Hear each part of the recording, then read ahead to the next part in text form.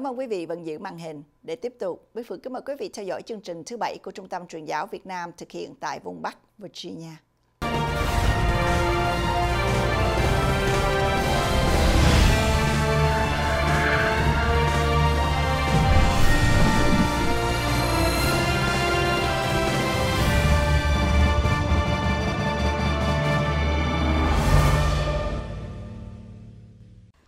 Kính thưa quý khán thính giả của SBTN, ai trong chúng ta chưa từng thấy trong Thánh Kinh có những điều gây lúng túng cho mình, đưa chúng ta đến chỗ thắc mắc, đặt vấn đề là Thánh Kinh có phải là lời Đức Chúa Trời hay không?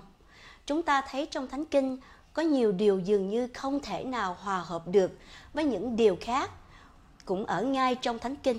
Chúng ta nhận thấy có những điều khiến chúng ta khó kết luận rằng Thánh Kinh có nguồn gốc từ Đức Chúa Trời và tuyệt đối vô ngộ. Hôm nay chúng ta có mời ông Trần Quang Thành giải bày cho chúng ta phải giải quyết điều khó khăn, lúng túng như thế nào khi sờ đến quyển Thánh Kinh.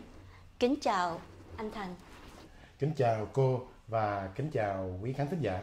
Thưa quý vị, Kinh Thánh là quyển sách được dịch từng phần trên 3.350 thứ tiếng và hơn 350 triệu tài liệu về Kinh Thánh được ấn hành trong năm 2017.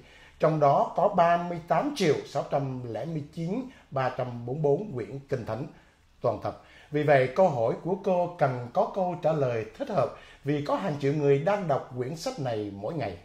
Thật là dại dột để tìm cách che giấu sự kiện cho rằng có những chỗ khó hiểu trong Kinh Thánh. Nhiệm vụ của chúng ta là phải thành thực trực diện với chúng và khảo sát chúng. Tôi có bốn điều muốn thưa cùng quý thính giả có lòng muốn tìm hiểu Kinh Thánh. Điều đầu tiên, chúng ta có thể nói khi nghiên cứu Kinh Thánh chắc chắn chúng ta sẽ gặp những chỗ khó hiểu. Một số người tỏ vẻ ngạc nhiên và bối rối khi gặp những chỗ khó hiểu trong Thánh Kinh. Tuy nhiên, riêng tôi thì sẽ càng ngạc nhiên và bối rối hơn nếu mình không gặp những điều như thế. Khi con người giới hạn cố tìm cái vô hạn thì bắt buộc phải gặp khó khăn. Nếu có ai cho cho tôi một quyển sách thật đơn giản như một bản cửu chương và nói rằng đây là lời của Đức Chúa Trời đã mặc khải toàn bộ ý chỉ và sự khôn ngoan của Ngài, chắc là tôi không tin. Lý do mà tôi không tin vì nó quá dễ hiểu nên không thể nào là sự mặc khải trọn vẹn từ một đấng khôn ngoan vô hạn một mặc khải về sự thực hữu của Đức Chúa Trời đều phải có những điều khó hiểu cho con người vì con người dù khôn ngoan tài giỏi nhất cũng chỉ là những con người mới học vỡ lòng về những kiến thức thuộc linh mà thôi. Điều thứ hai, là một giáo lý khó hiểu không có nghĩa là giáo lý ấy sai. Nhiều người gặp một giáo lý khó hiểu thì lập tức kết luận rằng giáo lý ấy là không đáng tin. Rất ít lý thuyết khoa học nào được chứng minh để cho mọi người tin tưởng hiện nay lại chưa từng gặp một vài khó khăn trong quá trình tiến đến chỗ được chấp nhận. Khi thuyết của Comenius mới được công bố, nó đã gặp rất nhiều khó khăn. Các khó khăn này nảy sinh đến liên quan kinh thánh do trí thức hữu hạn của con người. Điều thứ ba tôi cần nói là giả thuyết cho rằng thánh kinh vốn có nguồn gốc từ loài người sẽ có nhiều khó khăn trầm trọng hơn là giáo lý chủ trương cho rằng Kinh Thánh có nguồn gốc từ Đức Chúa Trời. Chắc đã có lần một ai đó đem đến cho bạn một chỗ khó hiểu và nói nếu Kinh Thánh quả thật là lời của Đức Chúa Trời thì bạn giải thích điều này như thế nào? Và có lẽ bạn đã không thể giải thích thật thỏa đáng cho người ấy. Người ấy tưởng rằng mình đã thắng. Nếu tôi là bạn, tôi sẽ đáp. Bây giờ tôi không giải đáp được những chỗ khó hiểu ấy. Nhưng việc tôi không đủ khả năng đó không chứng minh rằng Thánh Kinh không có nguồn gốc từ Đức Chúa Trời. Thế nhưng tôi có thể trình bày cho ông nhiều điều càng khó giải thích hơn nếu ông bảo rằng Thánh Kinh không có nguồn gốc từ Đức Chúa Trời. Ví dụ, ông giải thích thế nào về hàng ngàn lời tiên tri trong Kinh Thánh Đa ứng nghiệm? Cầu giải thích thế nào nếu Thánh Kinh không phải là lời của Đức Chúa Trời? Ông không thể nhắm mắt lại đối với nhất quán tính kỳ diệu của 66 quyển sách của Kinh Thánh đã được viết ra trong những hoàn cảnh và thời kỳ rất khác nhau. Câu giải thích điều đó như thế nào nếu Đức Chúa Trời không phải là tác giả đích thực của bộ sách ấy, ẩn phía sau trên dưới 40 trước giả là con người. Ông không thể phủ nhận là Thánh Kinh vốn có quyền năng cứu rỗi người ta khỏi tội, đem bình an, hy vọng và niềm vui đến cho họ. nâng con người ta lên cao để đến được với Đức Chúa Trời mà tất cả các quyển sách khác gộp lại chung lại vẫn không thể nào làm được. Kẻ phản bác đã không trả lời được những khó khăn của người phủ nhận nguồn gốc của Thánh Kinh là từ Đức Chúa Trời. Còn nhiều hơn và nặng ký hơn những khó khăn của người tin Đức Chúa Trời là tác giả của quyển Kinh Thánh. Điều thứ tư, cần nói về những chỗ khó hiểu trong Thánh Kinh là như thế này. Sự kiện bạn không giải đáp được một chỗ khó hiểu, không chứng minh được rằng nó không thể giải đáp được và sự kiện bạn không trả lời được, không chứng minh rằng nó không thể có câu trả lời. Có rất nhiều người khi gặp một chỗ khó hiểu trong Thánh Kinh, thấy không có cách giải đáp nào cả thì liền nhảy vọt ngay đến chỗ kết luận chẳng ai có thể giải đáp được nó cả. Cho nên họ đã đưa tay đầu hàng và đánh mất niềm tin vào tính cách vô ngộ của Kinh Thánh và nguồn gốc từ Đức Chúa Trời của bộ sách ấy.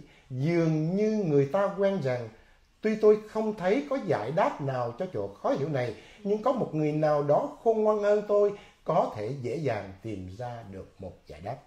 Chúng ta cần nhớ rằng mình không thể biết hết mọi sự và rằng có rất nhiều điều mình không thể giải quyết, nhưng rồi chúng ta sẽ có thể dễ dàng giải quyết nếu chúng ta có thêm chút ít hiểu biết nữa thì điều đó sẽ cứu được chúng ta khỏi tất cả những việc dạy dột này. Bạn sẽ nghĩ sao về một học sinh mới làm quen với môn đại số học khi cố tìm cách dành ra nửa tiếng đồng hồ để giải một bài toán mà cậu ta chưa học tới? Bạn nghĩ thế nào khi một cậu học sinh đó vội tuyên bố rằng chẳng hề có giải đáp nào cho bài toán bởi vì cậu ta không tìm được lời giải? Tại sao nó không đến với ông thầy của mình và nếu ông thầy không tìm được câu trả lời, nhưng nó có thể tìm được người khác tìm ra một cách hết sức dễ dàng. Nó có thể cho rằng chỗ khó hiểu đó là hoàn toàn mới mẻ nhưng thật ra đó là một vấn đề đã được giải quyết từ rất lâu rồi ngay cả trước khi nó và tôi được sinh ra trên đời này. Kính thưa quý thính giả, khó khăn trong thánh kinh sẽ nhanh chóng biến mất sau khi được nghiên cứu kỹ lưỡng và được nghiên cứu vừa cầu nguyện. Có biết bao điều trong kinh thánh từng làm tôi thắc mắc, choáng váng, nhưng rồi đã lần hồi được làm sáng tỏ và tôi chẳng còn thấy còn có điều gì khó hiểu nữa. Thoạt đầu, chúng biến mất từng điểm một, rồi từng hai điểm, từng hàng tá. Thế thì phải chăng điều hợp lý là những khó khăn còn lại rồi cũng sẽ có ngày biến mất nhờ nghiên cứu sâu rộng thêm. Vậy hãy nhìn vào một số những điểm khó hiểu ấy với chi tiết tỉ mỉ hơn. Ai là người đọc Thánh Kinh đều nhận thấy một câu của sứ đồ Pierre viết rằng ở trong tức là trong Thánh Kinh có mấy khúc khó hiểu mà những kẻ dốt nát và không tin đem giải sai ý nghĩa chuốc lấy sự hư nát về riêng mình trong Pierre 2 chương 3 câu 16. Có nhiều phần đúng, sau cùng tôi xin nhắc lại câu nói của Billy Graham, chớ dại dột mà nghĩ mình khôn ngoan bằng Đức Chúa Trời mà có thể giải thích tất cả mọi sự. Nguyện xin Đức Chúa Trời ban ngôi ở cùng quý vị, ban sự thông sáng để lần lượt giải tỏa những thắc mắc khó hiểu trong quyển sách mà Chúa đã để lại cho loài người. Amen. Thưa quý khán thính giả, vì thời gian phát hình có thời giới hạn, nên chúng tôi tạm chấm dứt tại đây. Xin hẹn gặp lại quý vị trong chương trình phát hình lần sau. Kính chúc quý vị và gia đình một tuần lễ an khang, thịnh vượng. Trân trọng kính chào. Rồi quá mau thân con ta từng ngày. Lời ngài là sức sống, con luôn tin kinh mến. Lạy chúa, thân con mong tìm thánh nhân.